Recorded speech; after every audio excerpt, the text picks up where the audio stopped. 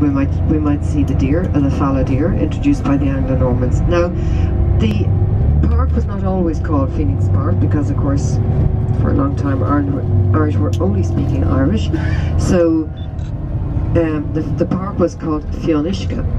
And Uisce means water and Fionn means fair or clear.